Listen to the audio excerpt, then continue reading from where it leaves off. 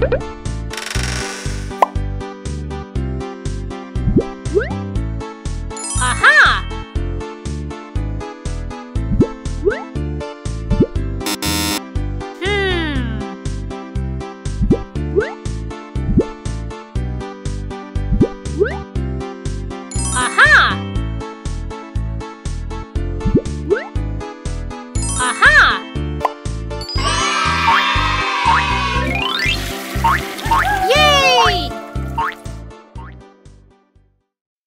다른 영상을 더 보고 싶다면